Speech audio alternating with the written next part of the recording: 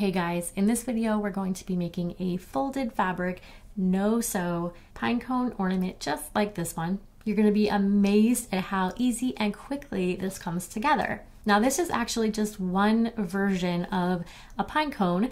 Um, we've actually got multiple different ways of putting together pine cones. We're going to be using the square fold on this one, which kind of results in a little bit more of a haphazard looking pine cone. This is actually the way that I prefer to do them, but we do have, like I said, a couple of different ways. And this way is also less structured. So what's nice about that is you can adapt this to various shapes of foam. So here I've used an egg shape. You could actually do this on a round ball like I've done here. Um, and it's very easy to adapt with this particular fold. And you'll see that sometimes these are called, in this round version, sometimes these are called artichoke um, ornaments or even pineapple ornaments. In fact, I used to call this the pineapple ornament as well. I'm trying to kind of get away from that now because we actually have a like legit pineapple ornament pattern now. So in order to make things a little less confusing, we're kind of lumping all of these into the category of pine cone. And again, we've got multiple versions. And if you would like to make sure you do not miss out on any of our other tutorials for any of the other versions, please be sure that you are subscribed. I think it's down there somewhere um, to this channel. All right, so with all that being said, let's talk about what you will need to make this. All right, so first you are going to need a foam egg and the size that I'll be using is about four inches tall. Um, this is, if you're shopping in my supply shop, this is the large size that we carry, and this is soft foam, so it's easy to push pins into, and you are going to be pushing a lot of pins into the foam, so you do want to definitely keep in mind the density of the foam that you're using.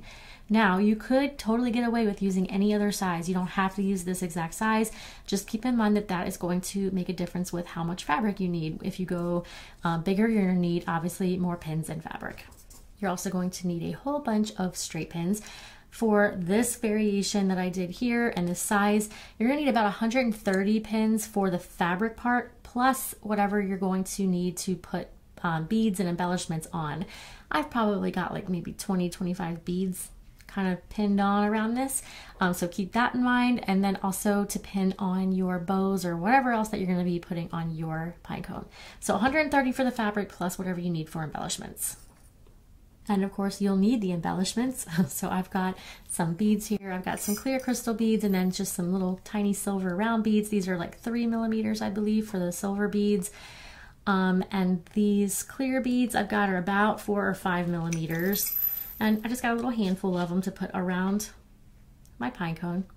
And then you will also need ribbons for the top. Um, now, some people don't like a lot of bows and things like that. If you don't want bows, you're going to need something at the top because the tops where all the fabric comes up and converges at the end and there's going to be some raw edges and messiness up there that you'll have to hide.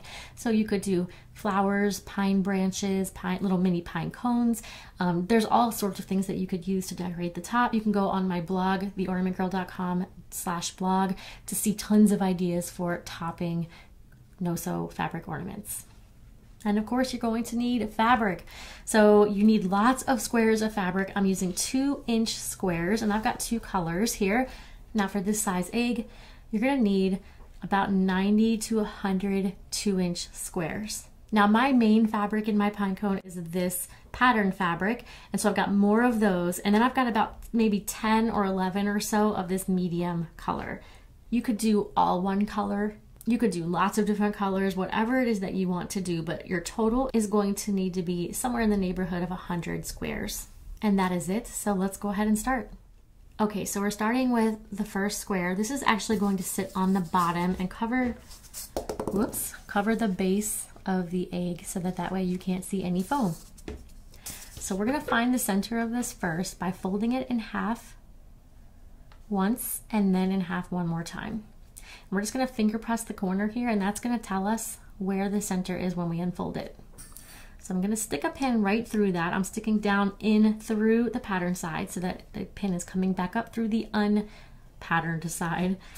And I'm going to go ahead and stick this right into the bottom of my egg, right at the, the more narrow end.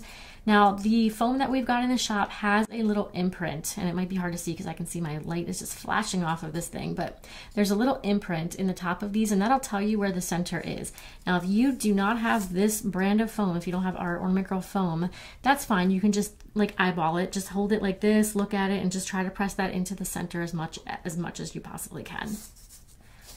All right, so what we're gonna do now is just smooth this down as much as possible and pin the four corners. It is not going to lie perfectly smooth because we're putting a square flat piece of fabric down on a rounded surface. So it's not gonna lie flat, but that is totally okay.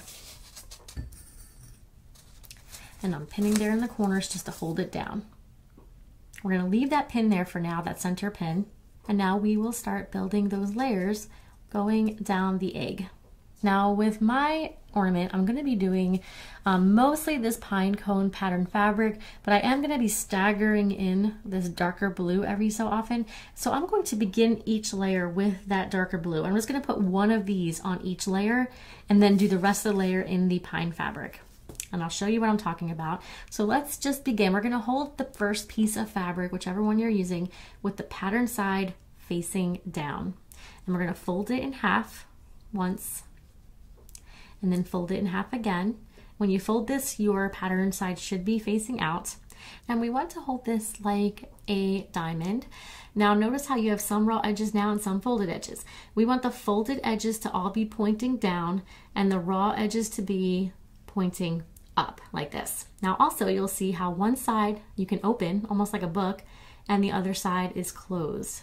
Okay, we want to make sure that we're holding this so that the open side is pointing to the left. And we're going to be doing this on every single piece just to keep things really consistent. And it's also going to help us save on some pins. I'll explain in just a second. So we're going to take the egg and we've got that center pin still in there to help us see where the exact center is. Now see how you've got these four corners? We're going to aim the top edge of this new square, just aiming it right up towards one of those four corners. And the bottom point, that's the folded edges, is going to point right at that center pin. And we want to just set it back from that center pin like maybe a quarter of an inch or so. Maybe even, it might even be less. And I'm going to grab my tape measure so I can give you an exact measurement here. Now I don't want you to worry about being exact, but just so you can get an idea of where I am. So it looks like that point is sitting like close to 3 eighths of an inch from, just shy of 3 eighths of an inch from that center pin. Okay, again, you can just totally eyeball that, but I just wanted to give you an idea. Okay, so see how we've got this open side here? We're gonna pin that. We're gonna pin on that open side to hold it shut and to hold it on the foam like this. All right, that's the first piece. So let's go ahead and grab a second square.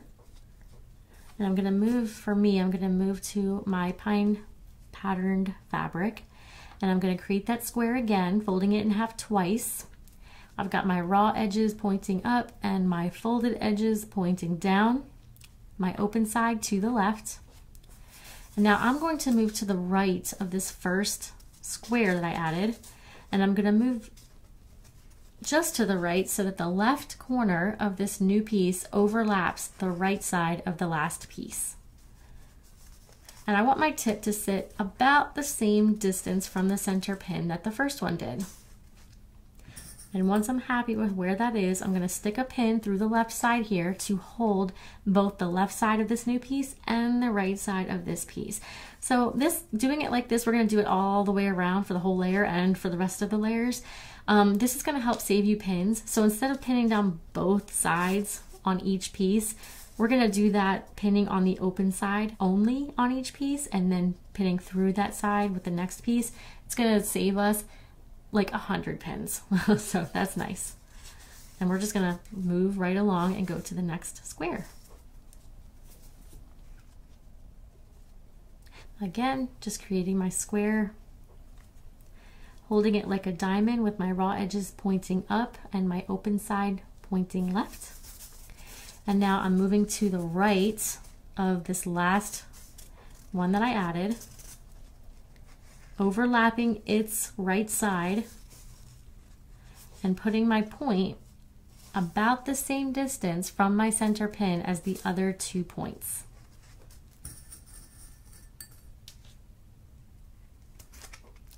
And then pinning through the left side of this square and the right side of that one.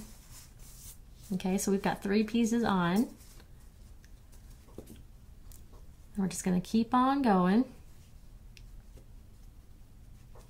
Raw edges pointing up, open side left, and I'm moving to the right.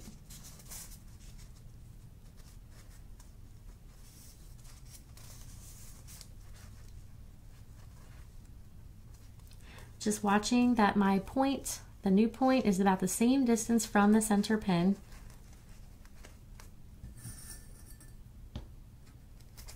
Then pinning right through that left side to hold that side down and the previous piece's right side. So we've got just a couple more pieces to go before we arrive back to our starting point.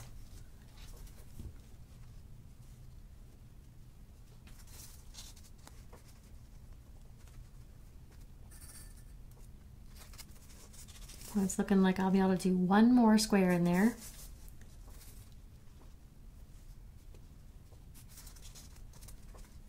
So this time, when we place this square, it's going to overlap the right side of the last piece just like always, but it's also going to overlap the left side of the first piece.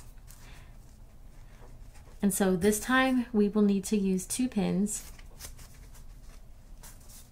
to hold it in place. Now, if you really, really wanted to save a pin, you could actually remove the pin on the left side of the very first piece and just use the same pin. But if that's difficult, you can just use another pin and stick it right in there. And then that is it for this layer. So really easy. And that's literally all we're gonna do for the entire egg all the way up until we get to the top. Now, what I like to do is, uh, the reason why I am using these like haphazard darker blue pieces is because I find that it makes it easier for me to see where I began each layer. And you'll see as we start working our way up the egg, it can get a little bit more difficult to see where you are as you've added more layers. It's, you can start to get kind of lost. And so by adding another color as the beginning of each layer, you always know when you've arrived at the back to the beginning of the layer because you'll arrive back at that um, piece that's different than the rest of the layer. And what I do to make sure that I'm not like ending up with one line of the different color is I'll just start my next layer somewhere else. Like I'll start my next one maybe right here. So let's go ahead and do that. Prepping the fabric the exact same way, folding it in half twice. I've got my raw edges pointing up and I've got my open side pointing left. So I'm gonna start somewhere like the on the opposite side of this original piece down here. Um, but now, of course, I'm going to be moving up the edge just a little bit. So see how right here is my points from the first layer. I'm coming up the egg just a little bit, probably about a quarter of an inch, maybe a half of an inch, not a quarter of an inch, a half of an inch or so up from the tips of this. Now you don't have to be exact. You mostly just want to make sure that you are indeed moving up the egg and that you can see the tips from the previous layer like this. Now I'm going to start just like I did before by pinning right through the left side to hold that side closed. Now I mentioned a second ago that whenever I come back around, like I'll work my way around and when I get back around, I'm gonna know where I started because of this piece um, being a different color. Here's the thing, if you're making one right now with all the same color, that's you're not gonna have that luxury. But what you can do is you can actually leave the very first pin of each layer sticking up a little bit like that. Like don't push it in all the way and then that's another way that you can know when you've arrived back to the beginning of the layer. And I know it probably seems kind of silly now, like because there's not much on here yet, so it seems like it'd be really easy to see where you started your layer. But literally by like layer three or four, it gets harder to tell. So this will really help you if you're starting to have a hard time seeing where you're beginning and ending each layer. Okay, let's go ahead and move along. I'm gonna switch back to my um, pine fabric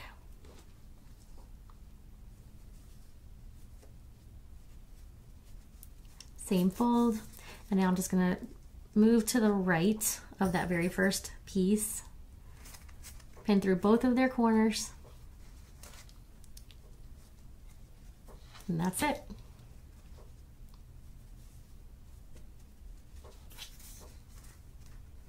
And after I do a couple more of these squares, I'm actually gonna speed up the video because it's gonna get boring for you to watch me do the same exact thing over and over and over again, but I will stop and pause um, or actually stop and just explain anything that comes up that might need any extra explaining.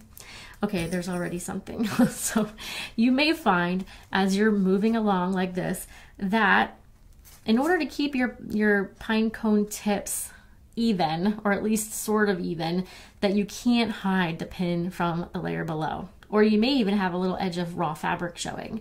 Don't worry too much if that happens. It's not that big of a deal. Just keep on going, ignore any pins that are showing.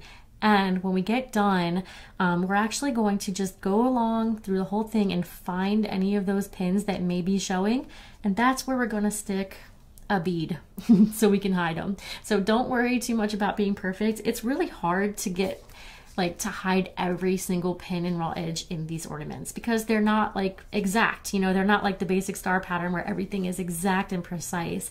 Um, so please don't get caught up in perfection. It's pretty much impossible, but we're totally gonna hide it and no one will ever know when we're done.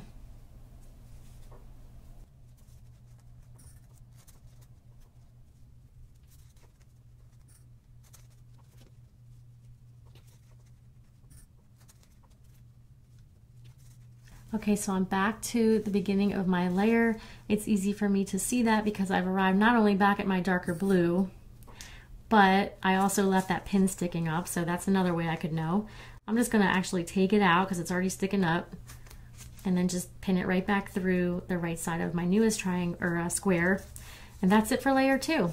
So we're actually just going to continue working our way up the egg layer by layer. And it's probably gonna take somewhere around 10 or 11 layers or so until we get to the very top.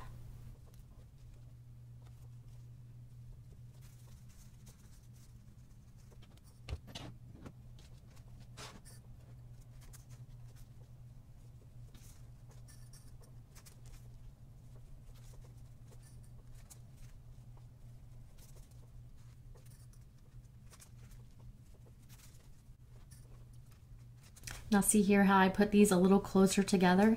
That helped to hide some of that stuff from underneath too because I had like a couple spots there that were that were just hard to hide. So you can do that too. You can always space them out. You can put them closer together. That's kind of the nice thing about this more unstructured pattern that you can, it's like really flexible. You can totally move things around, um, whatever you need to do.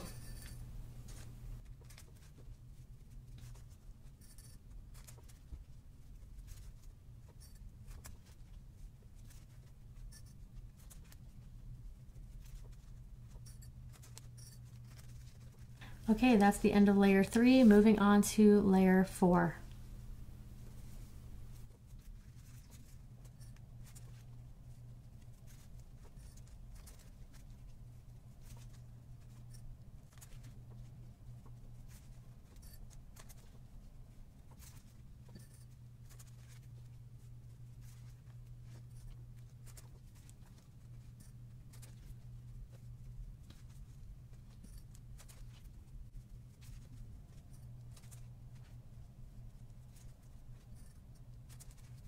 Okay, so see how I am almost reaching the left side of my first piece of this um, layer, but it's not quite reaching. So I've got a couple of choices here. I could stretch it, I can move it further over to the right so it reaches the left side of this and it still is covering the right side of that.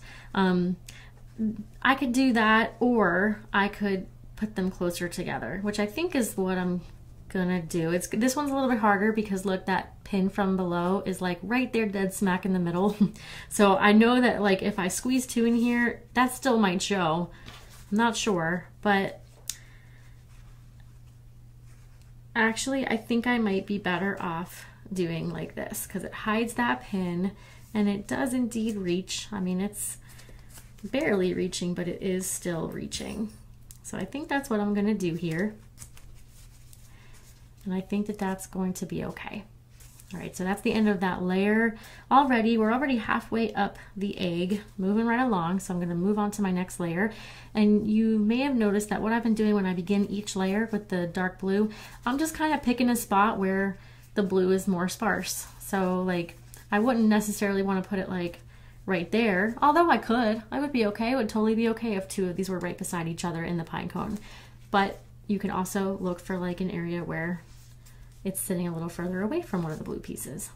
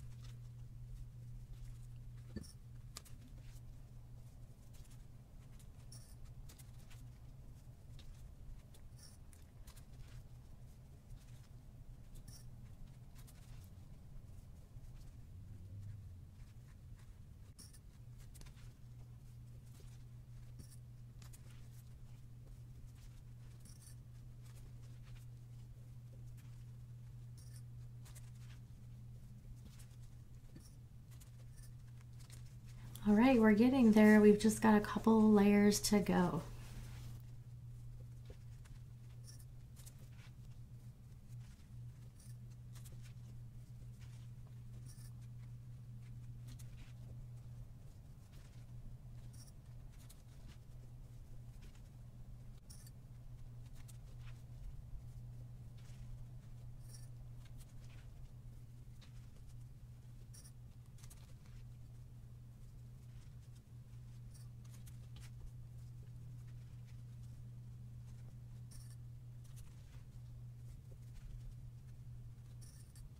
Now, as we are arriving closer to the top of the egg, and things are getting narrow, more narrow again. We went from real narrow and then wide, and now it's starting to get more narrow again.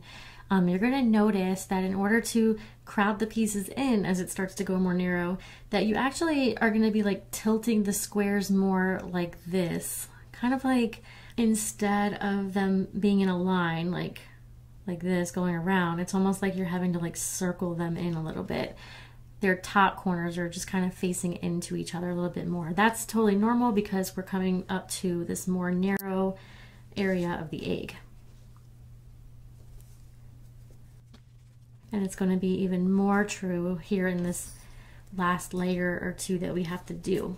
Now we're going to do another layer or two just like what we've been doing, but then we're going to do the very tippy top a little bit differently just because it gets a little hairy up there. It gets a little bit harder to do. So I'll show you what I mean when we get there.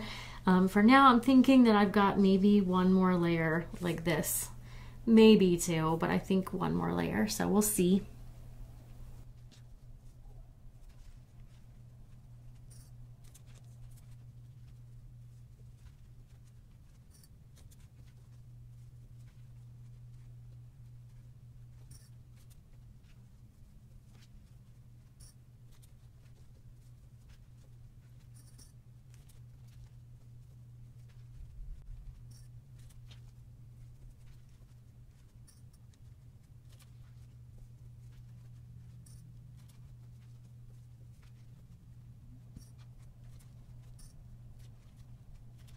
All right, so we have arrived pretty much to the top. We've only got like this tiny little bit of foam showing. Actually, you can just see like the imprint from the top of my foam showing through.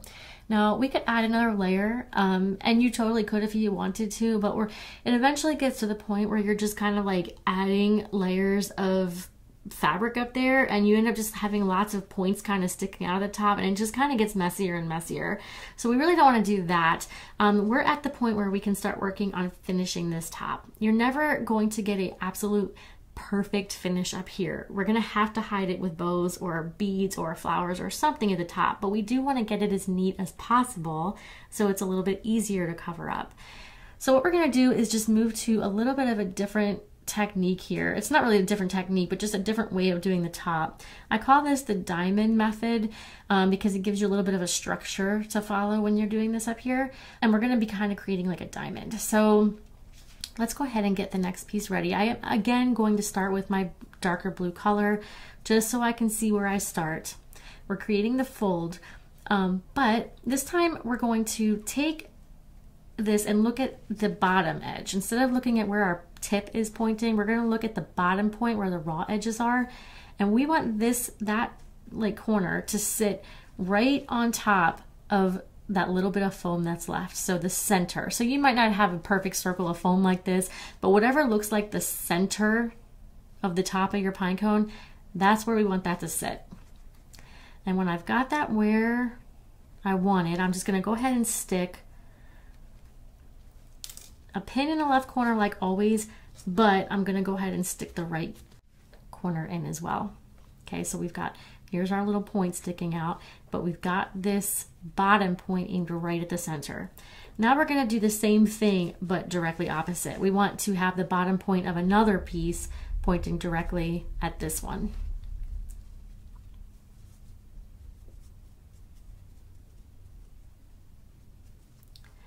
Okay, so we're gonna do the same exact thing. We want this raw edge point to point right there at the bottom point of the first piece. And I'm gonna let mine overlap just a tad. And I'm gonna go ahead and pin those two corners down. And now we're gonna do the same thing to fill in the two other sides. So see how there's like a little, it's very hard to see, but see how there's like a little triangle here? We're gonna fill those in with two more pieces.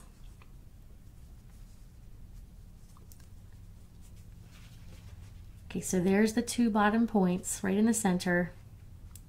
And I'm just gonna fill that in with this triangle or square.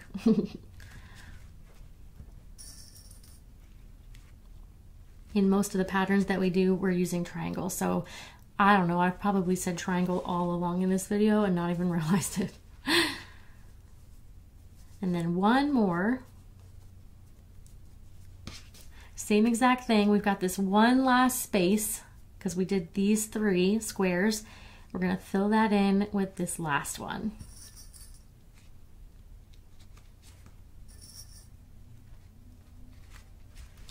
Okay, so what we've really got here now is I've got it held like a diamond, but it's actually just a square of these four pieces, but it's nice and neat.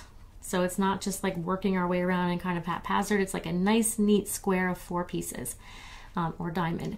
So now what I'm gonna do is I'm gonna do four more just like that, except this time I'm going to set them perpendicular to these pieces.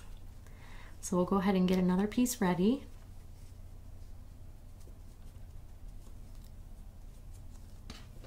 And here's my square or diamond. And I'm gonna go ahead and take this now. I'm still aiming that bottom raw point at the center, but it is overlapping a little further into the center now. And I want this point to just go sit perpendicular to the sides of that um, layer below. Okay, so hopefully you can see that.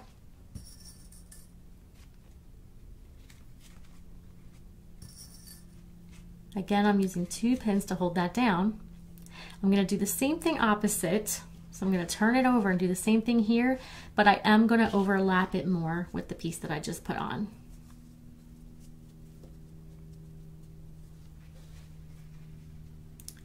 So this time, see how they're overlapping a lot more than I did on the last layer.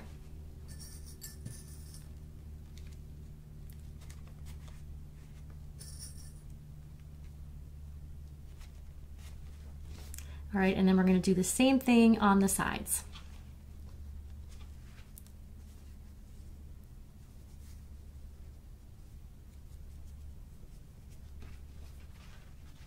So here is my two finished points. You see how we're really neat, neatening, neatening up the top? Here and we have like all of those raw edges and pins are kind of being brought into one much smaller section now. So we're gonna do one more to cover up this last little bit of pins and raw edges. And this will be the very last piece.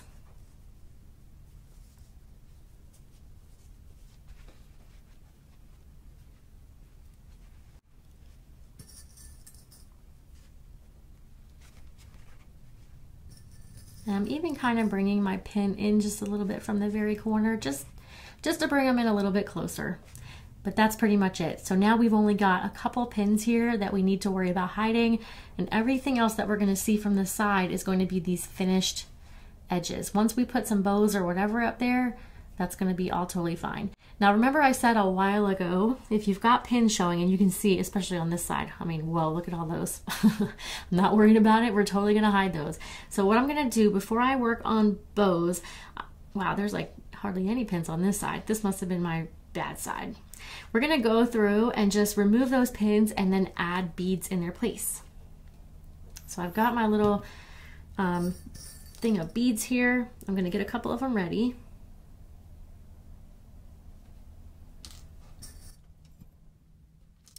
All right, I got a bunch of beads all pinned up and ready to go here. So I'm just gonna start taking a look around the pine cone and finding spots where I've got a pin showing or a raw edge if there's any of those. And I'm gonna just holding down the fabric because you don't wanna like pull it all the way out, but I'm gonna hold down the fabric and just pull out each of those pins and then put a beaded pin in its place. and it's like it never happened. so we're just gonna do that all the way around.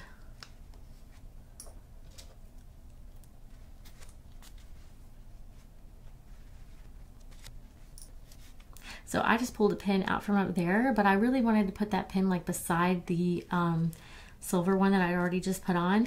And so I just pinned the new beaded pin a little lower because it's still holding that same piece of fabric down. So it's totally fine if it's a little bit lower on the fabric piece. I'm not too worried about like pins that are up super high because I know that my bow is going to cover that. So I'm not going to go all the way to the top, but I'm just going to get some of these ones that are a little bit down from the top and that are really um, obvious. Now something else, if you've got spots like I do where there's a whole bunch of pins like kind of all bunched in one spot and you may, maybe not necessarily want to put a whole bunch of beads all in one spot like that. And I think I just pulled this out of here. Um, you can take the same pin and just put it up a little higher. You don't necessarily have to stick a bead onto it if you don't want to like if you got too much in one spot like I do right there. Just tuck it up underneath a little higher and hide it and you'll be fine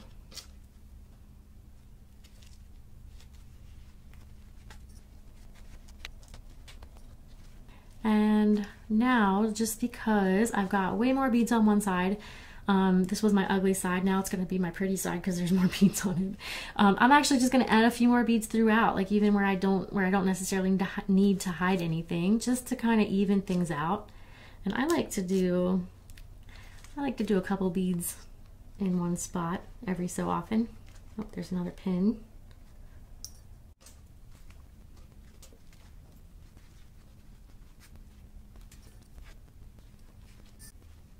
Right, so I may go back later and add a few more pins or maybe rearrange a little bit, but for now, let's move on to doing the ribbon topper. So I've got a couple of different types of ribbon here. I'm gonna start with this more narrow ribbon and get those pieces ready. And what I'm going to do is do three bows at the top and then bunch them all together. Actually, first though, we wanna do the hanger because we wanna put that in first. So I'm just gonna cut off about 10 or 11 inches of ribbon or so. However long you want your hanger to be. And I'm gonna loop this and put the ends together like that. And then just go ahead and stick a pin through both ends like this.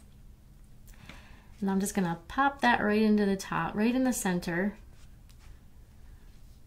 so that I could hang it straight down like this. Now let's go ahead and make a couple of bows.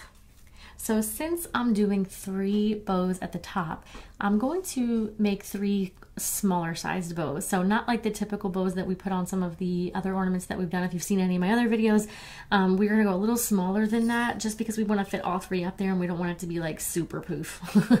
so I'm gonna do, I'm gonna put a pin through the end of my ribbon and I want to do like six loops that are maybe about two to two and a half inches long. I'm thinking two and a half inches long. And so if you're going to do the same thing, then you're going to need a piece of ribbon that is somewhere in the neighborhood of like 15, 16 inches long or something like that for each loop. So I'm doing three, so I would need three pieces of ribbon that are about 15 to 16 inches long. I'm just gonna loop about two and a half inches. You can totally use a tape measure here if you want to, if it helps. Or you can just eyeball. If your loops are not perfect, it is not going to make too much of a difference because there's going to be three bows up there. So it's going to be really hard to tell if your loops aren't exactly all exactly the same as each other. So don't get too caught up in being perfect. All right, so I've got six loops there, and I'm happy with that. And you could actually add seven if you wanted to too. I do do seven usually on other bows when I'm doing a single bow, but here, since we're gonna have them all up there in the, in the top, I don't think we need it. All right, so I'm gonna do that two more times.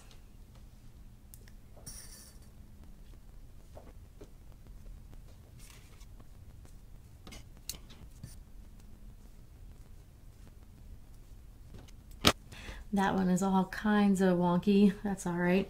Okay, so I'm gonna go ahead now and just place these around the top, down a little ways from that center pin that's holding the hanger on. I'm coming down like maybe a half of an inch from there, but I'm kind of aiming my pin down towards the center. So it's kind of like, see how I'm aiming it? I hope you can see that. Kind of like that. I'm just aiming it down towards the center. That way the bow kind of sits a little bit like facing out a little bit.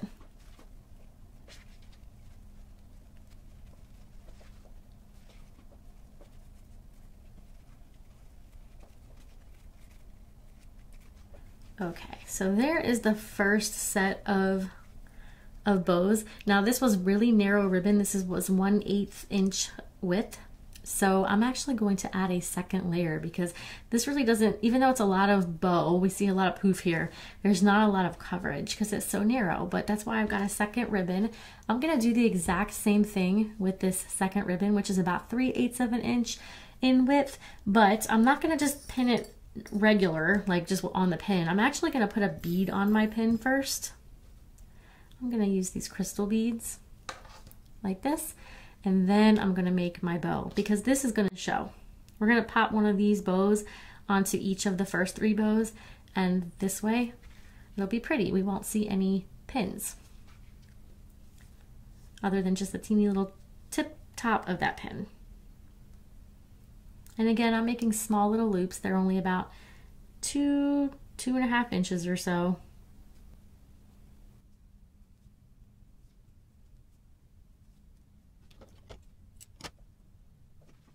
And I'm going to stick one of those right on top of one of the first bows, like that. I'm going to do that two more times to cover the remaining two bows.